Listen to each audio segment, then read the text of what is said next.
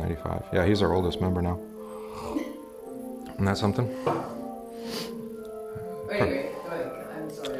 Well, so there's a, maybe a few deficiencies, and these are. Um, I, maybe we can take some responsibility for it that we haven't taught well. I mean, or I haven't taught well in particular. Um, but the, the problem is, is that by saying, as we talked about, like way back at the beginning, by saying, um, you know, I can be a Christian without, say, the sacrament of the altar, for example, uh, is actually to deny the Holy Spirit, because the Holy Spirit calls you and gathers you and brings you into the church. And there, Jesus says, take and eat, take and drink. Now, when you're in a time of preparation to receive, that's different. And no one who can't receive the sacrament and dies outside of receiving it, the baptism still holds. So that's also true. But to say, I just don't want to go, or I just don't care, or I just don't need it, You're kind of saying I'm more important than God. hmm yeah, you're putting yourself in God's place. And uh, Nicodemus is that way, which we'll hear in our um, gospel text today. He has the same kind of issue because I'm going to imply a little bit of something there, but I think it's helpful. And that Nicodemus comes to Jesus to talk to him about baptism because he was with the Pharisees who went out to John, who John, remember, John calls them brood of vipers because they come not wanting repentant, not to repent for the forgiveness of sins. Somehow it's still getting through. How is it still getting through? Oh, there we go. Well, yeah, there we go. Um, but, uh, but so John came baptizing for repentance, right? And then he says, and one's coming after me who's greater than me, whose sandal I'm not worthy to, to loose, who will baptize you with water, with the Holy Spirit and with fire, referring to Pentecost eventually, right? And the giving of the Spirit at Pentecost. And Nicodemus is, comes to Jesus at night because obviously the cover of darkness, you know. So no one knows he's going. Right. So I, I think he's coming in faith. I don't say this in the sermon, but I think he's coming in faith, um, but he's confused. He's clearly confused because it's like that doesn't seem right because I'm I'm already okay on my own without this baptism, And Right. Nicodemus was a Pharisee. because he was a Pharisee. Right. Right. Whether he went to John or not, everybody was going out to John. It says right. All of Jerusalem and the surrounding region, including the Pharisees, because John uh, re- reprimands them. You brood of vipers, he says. uh, who warned you to flee from the wrath to come? Right, which is actually the prophets, but uh, that's not why they're there. So, but to that example with Nicodemus, it's one thing to be struggling or to be confused or to not quite understand or to be working through you know some things, uh, which is what Nicodemus is doing. But to, to have known the gift, I'm just moving away from the breeze. oh yeah, And I know you love it. to, to, is cool. I'm good. you can close. Mark's right. Fine. Fine. Well, I'm gonna leave. I want to leave them open so I don't forget to open them for later. It's all right. I'll, I will close half. We will compromise. We will compromise. All right. Let it be said, Pastor does compromise. This is why we have church church at 9:30. You know, uh, not at 9:30, but at 9, and not 8:30. Not yeah. Anyway, it doesn't matter.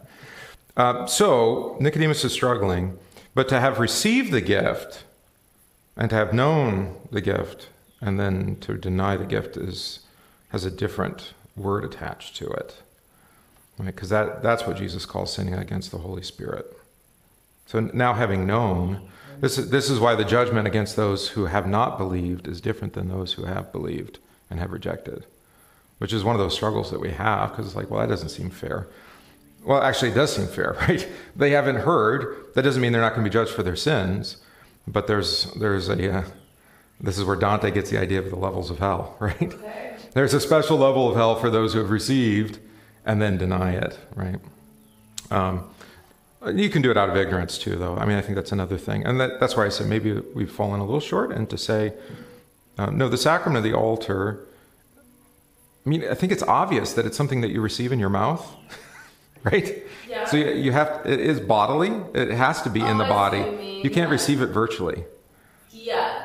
So watching the celebration of the sacrament doesn't merit you Mm-hmm. anything. It might help faith, but it doesn't give you the gift. You don't receive it by watching it. Receive it by receiving it. You know that seems obvious to us, maybe, but I don't think it's as. I mean, I'm finding out it's not as obvious as I thought. Um, and some of that's latent Roman Catholicism and their mysticism. And I think I've told you that story. Maybe I haven't here, where I was in the hospital and I asked the, the Catholic woman had me come over because it was when we had double beds, you know, in hospital rooms with a curtain Yes, back in the day. yeah. And she's like, I heard you praying. Can you pray with me? I'm like, yeah, sure, I pray with you, which is one of the advantages to that. Um, never mind privacy. But um, so I prayed with her. And I said, you know, do you know that you're saved? And he's like, yeah, I watched the mass this morning. I'm like, did the priest come to you and bring you?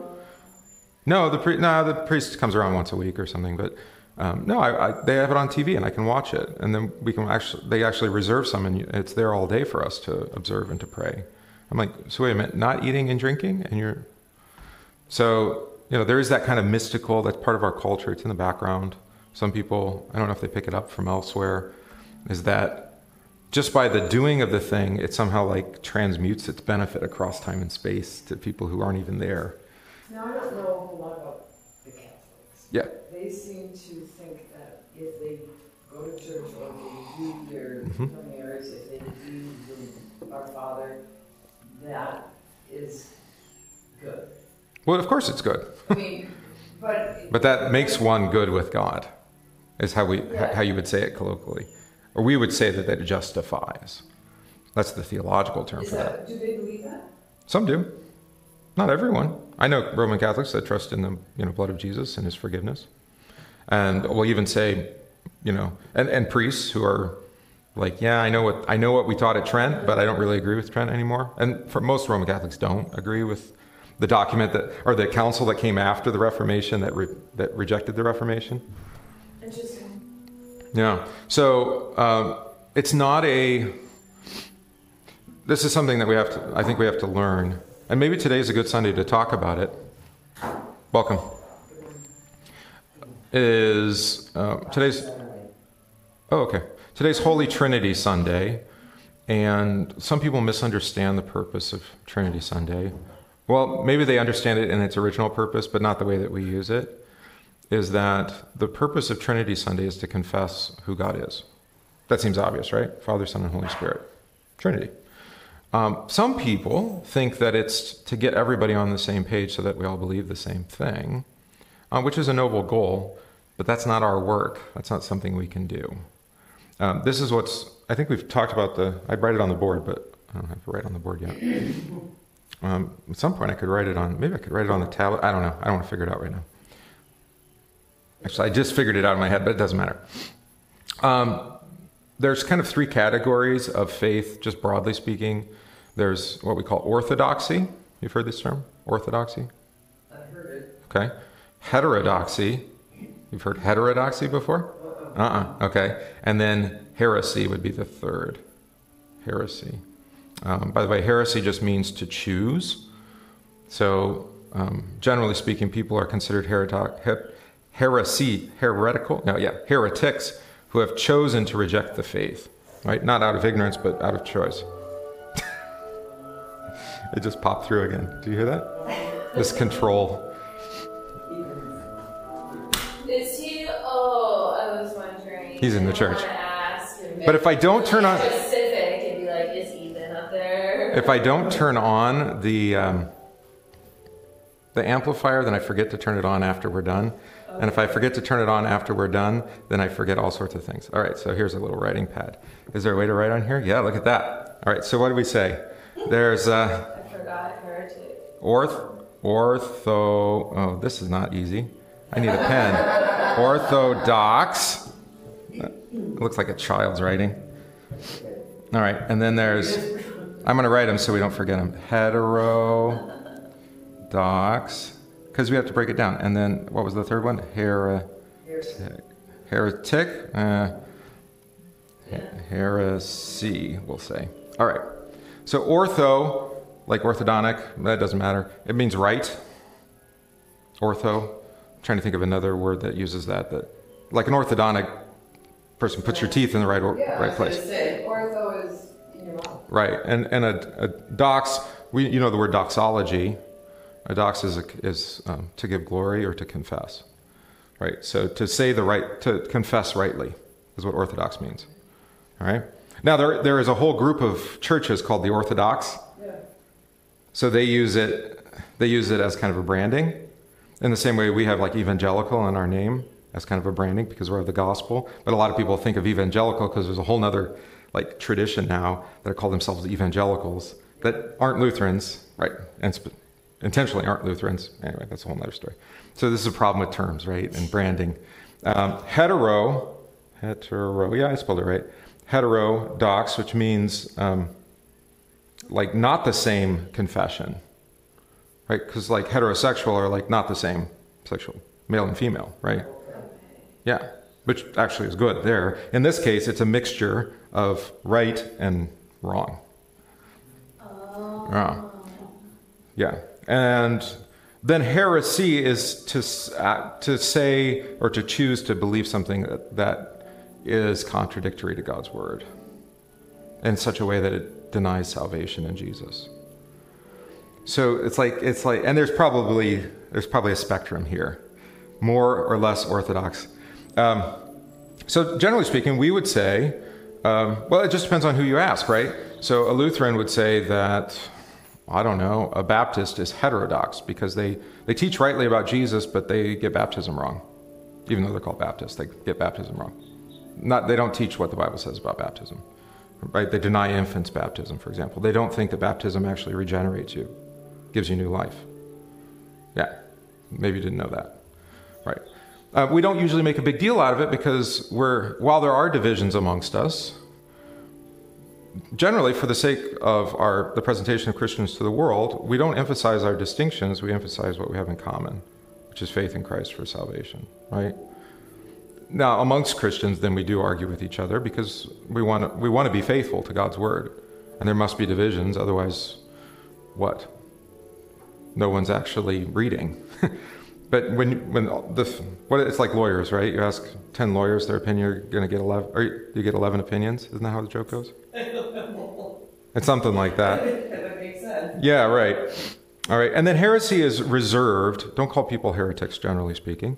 Heresy is reserved for those that the church together, so even different traditions, so Catholics, Lutherans, Baptists, just go down the list, agree that that actually is not saving faith. This would include people like Mormons, Jehovah's Witnesses, who have some Bible, but deny Jesus as the Son of God, deny that he died for the sins of the world. Make sense? So there's kind of a spectrum here of faith, and uh, Holy Trinity Sunday is a Sunday where you know, we're trying to confess actually what God has said about himself, no more, no less. Which means that um, it gets a little tedious, actually, at places, with the Athanasian Creed in particular, because we'll say he's this, this, but he's not this, this. He's this, this, he's not this, you know, and then you're like, and at the end you're like, the whole thing incomprehensible, which is a joke. It's actually, so that, you know the Athanasian Creed? No, you probably don't know, but you know, Barb knows it, right? So I'm a pastor. The idea that we do it once a year. I like the idea that we would do it four times a year. I just keep forgetting to actually schedule it. Um, why four? Because because why one? If you can't do it, you know. If you can do it four times quarterly. Well, right. It's one of the three ecumenical creeds, and again, a creed is just we're looking at the we're looking at the Apostles' Creed. What what were you saying? I'm sorry. Well, that'd be better if we do it four times a year. hmm Correct. Well, and it's not as like oh, it's so long because it's really it's like um, two minutes longer today with the responsive. is a good, I like that way. As far as a learning It- tool, It yeah. breaks it up and it kind of says, this one says that, but it's not this. Correct. This one says that, Correct. it's not this. And it, it, it Correct. makes it more real. I think so. I, I mean, I don't know. You can do it either way. There is something to be said for just having your ears open um, and just having someone read it to you as well. Um, but as uh, we have some folks that have young, or work with young children or have young children, uh, attention span for such a thing. Yeah, it's, it says this the Father incomprehensible, the Son incomprehensible, the Holy Spirit incomprehensible. And then the joke from uh, Dorothy Sayers, who was an author, um, who's now deceased, she said the whole thing incomprehensible, which is kind of a joke. But to quote it, yeah. It sounds incomprehensible. Well, that's all we're talking about. I think students learn. So, so the, the we're going to stream, but we're not streaming, which I mentioned before.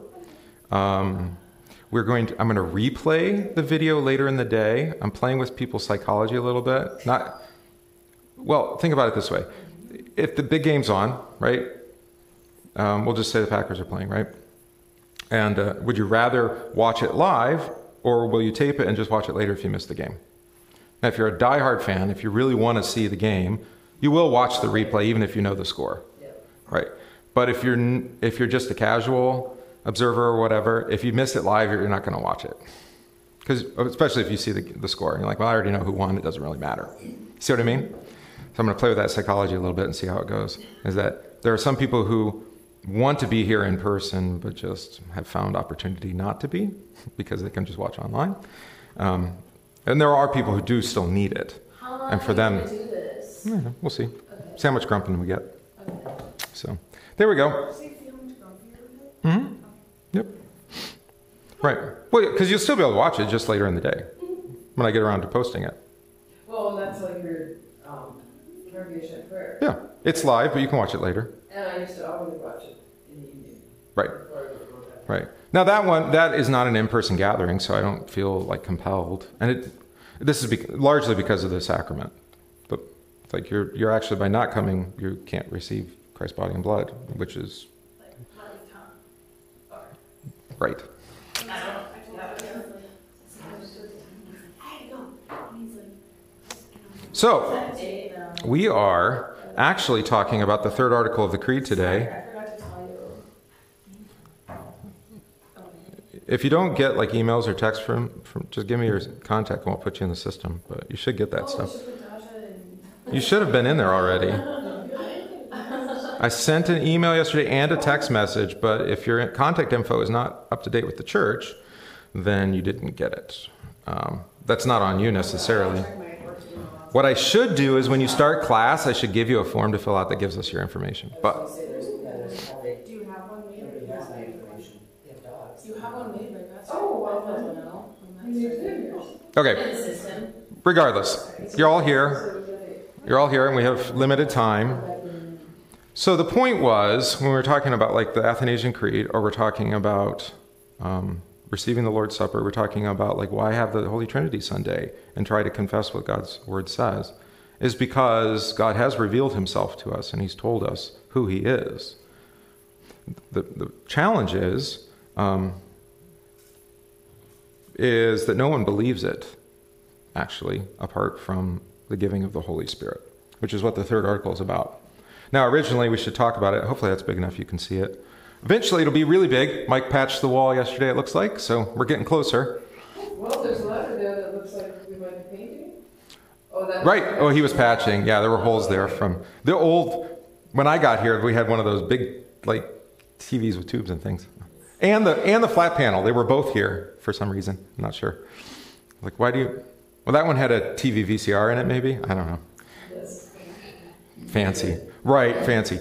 I believe originally the the Apostles' Creed ended, I believe in the Holy Spirit. Per- period. Amen. All right. So that was the earliest version of um, well, now I'm speaking actually about the Nicene Creed in that case. Later on, the Nicene Creed, maybe having read or discovered some of those pastors getting the, the Apostles' Creed from the church in Rome, said, we need to be a little bit more specific about who the Holy Spirit is and what he, actually, more specifically, what he does. What he does. Because if we don't define what he does, then what will happen? People will invent all sorts of things for the Spirit to do. Because why else confess the Spirit unless there's some point, right? Hmm. All right, and that had that had been happening, um, and some of those things still stick around today. So people speak in like angelic tongues, right? This is when they speak the gibberish. You know about this, Pentecostals. They need an interpreter, uh, which is a misunderstanding of what's going on in the Book of Acts. So that would be one example of something where it's like, well, the Holy Spirit hasn't promised that you can speak in the tongue of angels. And what is the tongue of angels anyway? Because angels come speaking the gospel of Jesus Christ. Behold, I bring you tidings of great joy. It's like, well, wait a minute. So that's the tongue of angels, right? Glory to God on high and peace on earth amongst those with whom he's pleased. Okay. When we talked about it before, wasn't it that they were just speaking in other languages that they Mhm. didn't say no? Right, yeah, exactly, Pentecost. Speaking in the people's languages of the gospel of Jesus Christ. which is what angels always do. They always come speaking the mess, the word from God, and in the New Testament, it's always good news. All right. What church believes that you can speak in tongues when you want to? It's well, it's not one to. It has. it's a supernatural gift. Uh, I said Pentecostal. Um, sometimes they're called apostolic. So, Because I knew someone mm-hmm. quite well okay, who said, yes, she could speak in tongues. yeah, right. But if you confess Jesus as Lord to others, you are an angel working on, you know, sent on behalf of God to do that. I mean, that's what angels. Angel just means messenger. do you need to speak in tongues? Well, that's the real question. What's the point of talking in some kind of Different, whatever the tongues are. Unless it is to preach the gospel of Jesus Christ, right? What would be the point otherwise? Yeah. No, this is the point. And who would they speak it to? To one another. It's a way of, about uh, yeah. I mean, every every church, congregation, church body, confession. Are looking for ways to say we're the right ones and you're the wrong ones. right? So, does your church do you speak in tongues? Well, then, are you really the real church? You see, because we do it like the apostles did, yeah, and then we disagree with what they mean, but whatever. You understand? It- it- and this is it's tribalism, I guess, is the easy way to say it. And every every um, actually every faith has this problem too. So, like, there's tribes within like Islam, right? You know, there's the Sufis and the I can't remember all of the different. They're they're kind of ethnic, but they're all they're really confessional distinctions. This came out with like the Iraq War, because the Northerns were the Sufis. Yeah. yeah. Yeah. And there's different And caliphates. ISIS are just the really extreme ones. So there's extreme and less extreme, whatever. Okay, it's true. There are, there are distinctions. Not every Muslim actually even believes the same thing, even though they all have the same Quran. Same thing with Christians, right? We have the same Bible, but we don't believe the same thing that it says. That's not good. The Holy Spirit doesn't actually want that. He's working towards faith, but or unity, I should say. But it's unity of faith, so that we share the, the same confession not because we've kind of manipulated each other into like lowest common denominator. We're just going to set aside our differences and just agree to disagree, which some of the more liberal churches have done. Um, even ones that call themselves Lutheran, they're like, well, yeah, you know, we, we have we have a Presbyterian pastor in our Lutheran church. And you're like, well, wait a minute, that we don't actually believe exactly, you know, the same thing. And you're like, yeah, well, we just decide to kind of ignore our differences. Fair enough, but um, that's not how this. That's not how the Spirit actually brings unity by setting aside differences. It's actually by conversation and trying to to find consensus as- as to what the Bible says. And we don't actually believe that that's possible by our own strength or reason or ability. The only way that you can be brought to faith is, I, well, here we'll just say it. I believe I cannot by my own reason or strength believe in Jesus Christ my Lord or come to him, but the Holy Spirit has called me by the gospel, enlightened me with his gifts, sanctified and kept me in the true faith. So you could shorten that up if you want. I believe that I cannot believe, which is a kind of an awkward thing to say, isn't it? Right, but you can only say that if you're in faith, actually. That apart from the Holy Spirit working, I would not believe in Jesus Christ. The whole thing is, it, it it's kind of hard to say because if you've been a Christian for a while, you're just like, how could I say that it doesn't make sense? But when you you have to kind of step out of your own shoes, faith shoes, if you like, and say, now wait a minute, one man dying for the sins of the world, that doesn't actually make sense. What makes sense is that I would have to suffer and die for my sins and pay the penalty price so that I can make God happy with me. Because that's the way the world works, right? You do wrong, you pay a penalty. goodness of the children. Yeah, right. It's, well, this is the law. It's the Yeah, law written into the that's hearts. Yeah, it's Santa Claus. It's Santa Claus. You do right, you get a present. Except everybody gets presents. Everybody gets a trophy with Santa Claus for some reason. We should get back to the original Santa Claus where he gave coal. All right. Yeah, you, you've all been bad boys and girls. It'd be a fun gag, wouldn't it? Just to do it once and traumatize them for the rest of their life. That year, Pastor gave us all lumps of coal. And that's like Santa Claus. You might not get it. I don't know. Well, doesn't mean Yeah. anything. Right. Oh, I should just give coal to coal. There's that's a good idea. Ooh. Life is hard. he get it. All right. Um, so by reason or strength is the key there. So reason meaning like I could argue and you into faith with good like good arguments. And there's a place for making arguments about like what does the Bible say and is the Bible like reliable? Is it actually historic? You know, do the things in the Bible actually happen? These sorts of things. There's a place for that. Um, it generally comes along. We almost always comes alongside to build people up who are already Christian, because then after they become a Christian, then the attacks come to say, well, why do you believe this? Because you know this was written whenever, or you know, it was made up and it was a big conspiracy or something like that. There's people that will do this. All right, um, reason or strength. So it's like, well, if only I try harder than I to believe, then I will believe. Um, which I don't know if you've you know tried to like build up your faith, right? Like I want to believe more. Um, it's one thing to cry out to the Lord to say, "Strengthen my faith" or "Give me faith." Right. Don't, I mean, I guess, Hmm. he enables us Mhm. to read the Bible Mhm. or go to church, listen to his word, receive the sacraments. Mhm. And we want to continue to do that. hmm Correct. So, what's the conflict? The con It's not us doing it, it's him. Well, the, the conflict probably Spirit leading us. Yeah, no, I think you're right. The conflict is probably what is faith, actually. That's probably where the confusion lies. Is faith like a capacity or a strength of oneself to believe? So either you got, you know, like George Michael, which I can use with you because you probably under- know that reference. The kids don't know George Michael anymore. It's really sad. You know, you just got to have faith, faith, faith, faith. Faith in what? Faith for what? Where does it come from? How do I get it? These are all questions, right? Um, by definition, from the Bible, faith does not come from you. It's not something that you can create. It's not something you can build up. It's not something that um, is a substance that you um, have hold of. It's, it's something that's given to you, that's strengthened by God, by His giving, right? It's nurtured and sustained by His Spirit.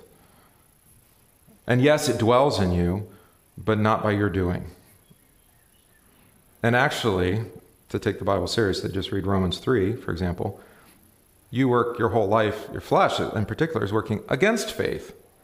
So rather than having the capacity to believe, you actually, by birth, are inherently opposed to it and fight against it. So you can think of like, um, was he a centurion? I can't even remember. Sometime I should go back and look it up. You know, the man who said, Lord, I believe, help my unbelief. You know, and there's a conflict there. What's that? There's a name for him in the Bible? Well, there's a title. I think he's a centurion or he's a soldier or something. Yeah. You know, Lord, I believe, right? By giving. You've, you've spoken your word to me and now I believe, and yet help my unbelief. Yet I'm still, I'm still fighting against that. That's the story with Nicodemus too. Like it's clear there's a conflict going on. He's like, I see that you are, you, you're doing signs that only God could do. And there's people saying you come in the name of God, like a prophet. But I also don't believe everything you're saying.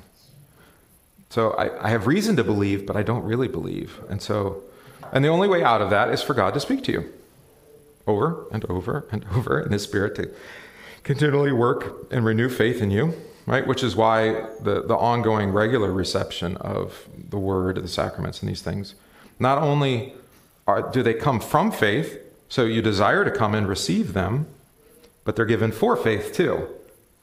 So you want you you because you believe you want to hear God's word. But by hearing God's words you want to then you believe. Does this make sense? You're shaking your head. It's it's the word that created the faith that that, that you desire God and his gifts. But it's also the gifts then that renew and, and strengthen the desire to receive them again. So by receiving, you want to receive again. But this is why if you, if you cut yourself off, it, this is my experience anyway. I don't know if this is yours. But if I miss church for a couple weeks, this was before I was a pastor. But if I missed for a couple weeks, then I'd be like, well, whatever. You know, I. It's not like absence made the heart grow fonder, but absence, actually absence just kind of the flame just kind of, if you want to use that analogy, it does. And you don't continue to. And then it's almost like awkward when you come back because you're like, You guys are funny. I miss church so much right now, but I'm not coming today. To work. you're denying the work of the Spirit. But you're, you're, you're receiving the work of your employer. Okay. that was a joke. It wasn't very funny. Thank you. Um, but, and this is, this is, a lot of times these kind of negating grammar words are very important. I just keep track of time. But the Holy Spirit has called me, how? By the gospel. All right? So, so this is where this paradox happens.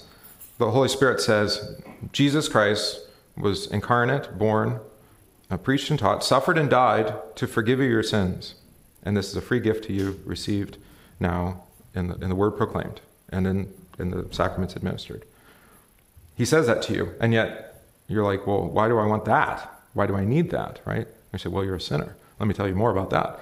I'm like, hmm, I don't really agree with you. I seem like a pretty good person, right? You can see how this goes.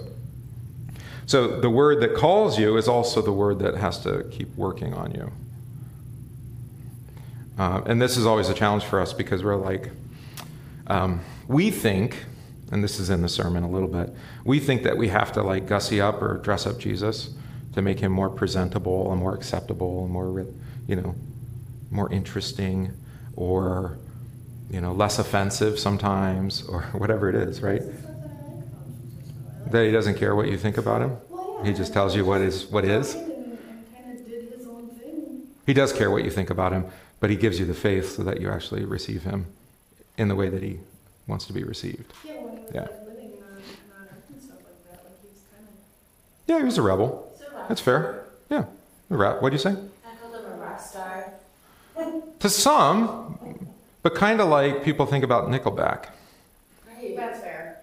Or Creed. I Or Creed. How much I love how much I got that reference. It's, it's okay. You don't have to get it. That's not actually a great example. Yeah, that's actually, well, that's a dated reference too. The kids don't get that one either. The idea, um, so, that, so maybe this is a good way to think about it, is to say uh, Jesus doesn't, um, doesn't conform to you so that you are, so that he becomes like you, but rather he conforms you to him so that you become more like him. Right? So that you understand the world the way he does, that you, um, that you live, you know, in, in the fear and love of, of the Father the way that he does. Right? So that's that's a little challenging, right? Because it's it's almost like Jesus is out here and you're down here, and you have to get there. Right? He does come to you, though. That's the problem. But he comes to you not to be.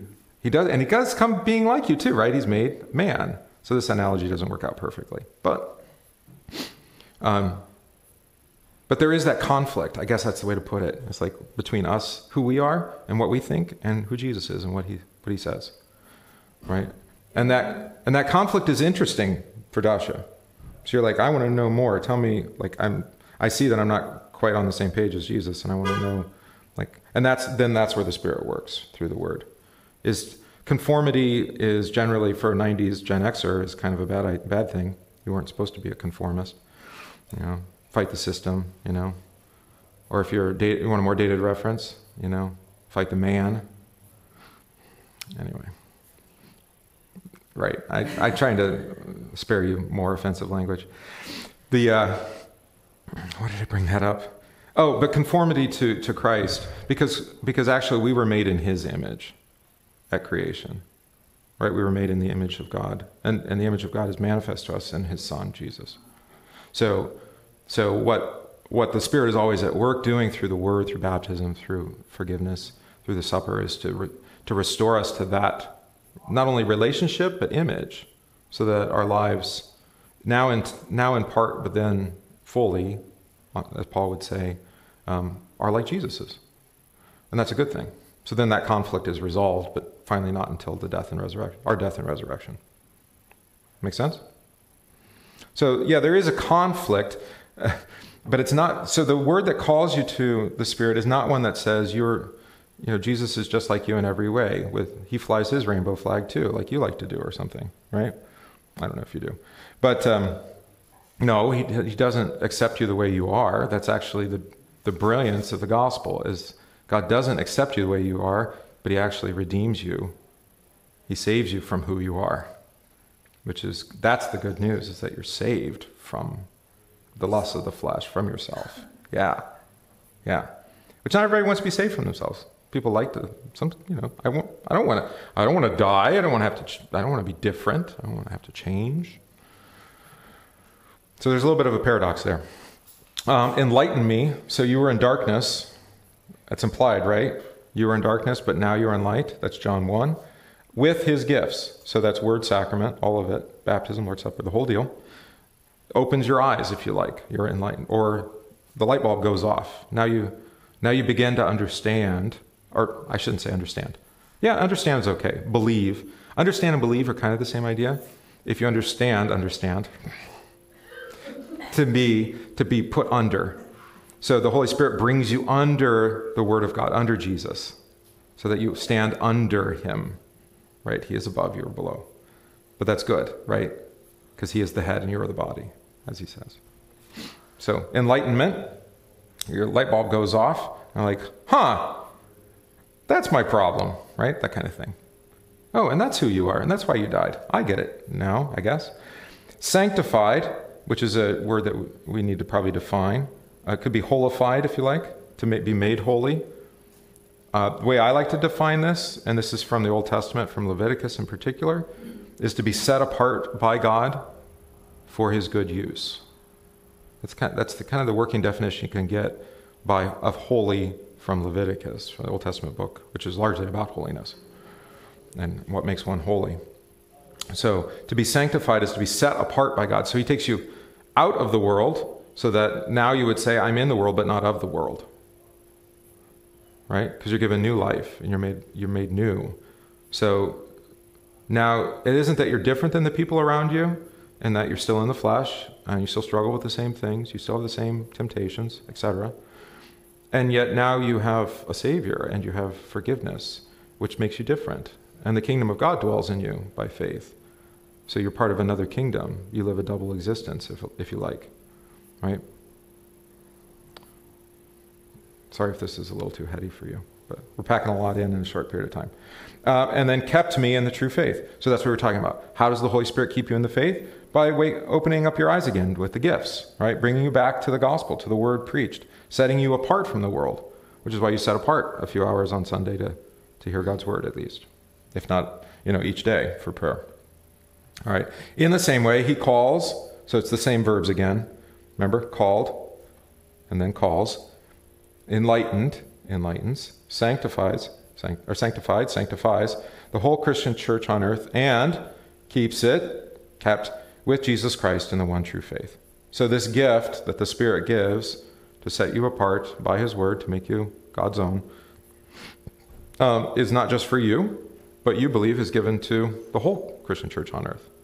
Notice it doesn't say the whole Lutheran church on earth, or um, it could say the whole Catholic church, which is probably, that would be fair if you understood Catholic as not the, the church that, you know, um, serves under Rome and under the, the Pope of Rome, but rather church as in, uni- Catholic as in universal, which is how we'll say it today in the Athanasian Creed. And the Catholic faith is this that we, which always bugs people on. There's another reason to say it more than once a year so that we can explain what we mean by what, what is actually meant by the word Catholic more than once. Not the brand name Catholic, but the, the actual doctrinal word Catholic, which means universal. There's probably a footnote on there somewhere. It doesn't give you a footnote here. It does. Oh, yeah, the one. Today we'll have it. Uh, in this Christian church, and then here's the key he daily, the Spirit, daily and richly, that's nice, you know, with lots, forgives all my sins and the sins of all believers. Right? So what's the purpose what's the purpose of all the things the Holy Spirit does? That is to bring you into the church and into the communion of the saints, is to give you the forgiveness of your sins. Right? Every day. It's the only way to live, actually, is to die to sins and rise to faith in Christ. Each day All these sounds. Resurrection of the body and life everlasting. So the same here, Luther says, On the last day he will raise me and all the dead and give eternal life to me and all believers in Christ. This is most certainly true. So you know, sometimes people um, get confused about the Holy Spirit and thinking, you know, there's like weird, like special gifts, you know, snake handling or something is a spiritual gift. Um, the Bible says that this is the work of the Spirit, is to bring you to the church, to keep you in the church, to continually set you apart by the gifts you receive in the church, right? And what was the one I missed? Well, yeah, ultimately, so because those gifts give forgiveness in Jesus. And being forgiven, then, you have the promise of resurrection and eternal life, right? Which is the only, it's, it's the only source of hope, actually, that lasts. I mean, I don't know, you can put your hope in, I don't know, it doesn't matter, matter uh, uh, Ron DeSantis or Donald Trump or RFK Jr. or uh, Joe Biden or whoever it is. These people are, these, yeah, these men, they're all white men too. Interesting. Weird. Weird. Conspiracy? I don't know. Um, how are we not? We, I thought we were supposed to notice these things now. Oh, well. Anyway, um, that one of these guys is going to save us from like pending catastrophe, economic or otherwise, or war or something. It's like, um, one, you're naive. I don't know. Just pay attention to the history of the world. And two, um, that's not actually the, the salvation that's most important. So it doesn't mean you can't be politically active and work towards those things, but recognize it's kind of secondary actually to what what does God say about me? And what promise do I have that whatever kills me, whether it's at my own hands or the hands of others, right? Something is going to finally, you know, death is going to come for me because of my sin. But what has God done about that already in Jesus? Right? Uh, we don't welcome death in the way, you know, like, let's have war because that'll be fun, then we can all die and go to heaven. Like, no. right?